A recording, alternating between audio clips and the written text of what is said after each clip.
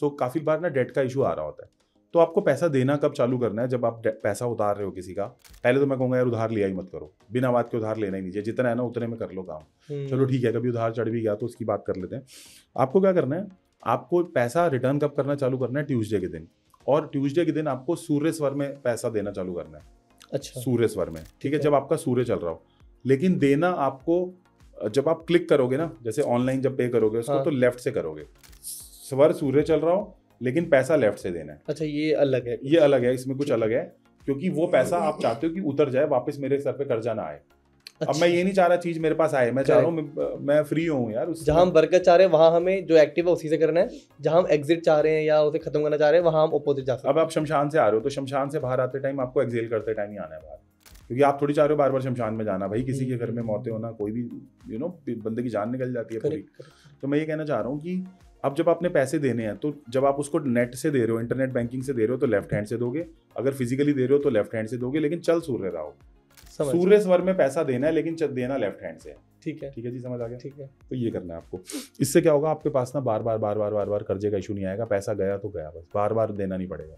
ठीक है? बिल्कुल। इसके अलावा आपको क्या करना है एक चीज़ करनी है आपको ना हाथी चांदी का हाथी लेके आना हाँ। ऐसे रेमेडीज बता दो सर। ये बड़ा ये अच्छा चलता है। चांदी का हाथी आपको लेके लाना है अपने घर की जहाँ पे भी आप सोते हो उसके पास रख लेना है अपने सर के पास चांदी का हाथी रख लेना और रखे रहने देना है इससे आपका कर्जा कर जल्दी जल्दी जो है उतर जाएगा।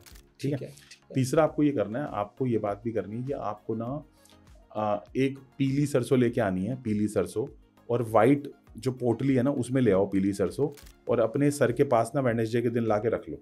अच्छा। ये मान के कि मेरा कर्जा दूर होगा परमात्मा मेरा सब ठीक करेगा अपने सर के पास रख लो अगले दिन वो जाके पीली सरसों अच्छे मन से पानी में बहाया तो आपने पीली कर्जे के लिए वेडनेसडे के दिन पीली सरसों लेके आए व्हाइट गठड़ी के अंदर अगले दिन सुबह जाके जो एक्टिव सर से निकाल दो चाहे कोई दिक्कत नहीं है निकाल दो पीली सरसों को और पैसा चांदी का हाथी अपने सर के पास रख लो ये दूसरी रेमेडी और तीसरा आपको जो मैंने बताया अभी कि आपको जो है सूर्य स्वर आपका चल रहा हो तब आपको रीपे करना चालू करना है लेकिन देना लेफ़्ट हैंड से। तो तीन रेमेडी बताइए जो कि बहुत ही पावरफुल रेमेडी है। और पूरे बिज़नेस को अलाइन करो पूरी लाइफ को अलाइन करो स्वर के हिसाब से।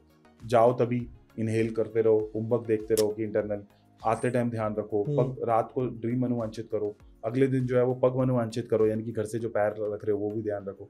तो अगर आप सारी चीज़ें अलाइन करोगे तो मेहनत के साथ आपको रिज़ल्ट मिलेगा। मिलेगा। है ना? सो so, मिलता है रिज़ल्ट है ना? आज नहीं तो कल मिलता है। परमात्मा आज नहीं तो कल सुनता है। है ना। सो शायर बोलता है कि भटके तो वो हैं जो घर से निकले ही नहीं है ना? भटके तो वो हैं जो घर से निकले जो घर से कभी निकला ही नहीं वो भटके है ना? सो मंजिल मिलेगी भटक कर ही सही मंजिल मिलेगी भटक कर ही सही। भटके तो वो हैं जो घर से निकले ही नहीं। असली भटका तो वो है ना जो कभी घर से निकला ही नहीं। जो कर रहा है स्टार्ट यार वो तो कर ही रहा है ना। और शिव जी जी की विद्या महादेव की विद्या ट्राई तो कर। वो बोला ना कौन कहता है आसमान में सुराख हो नहीं सकता एक पत्थर तो तबीयत से उछालो यार।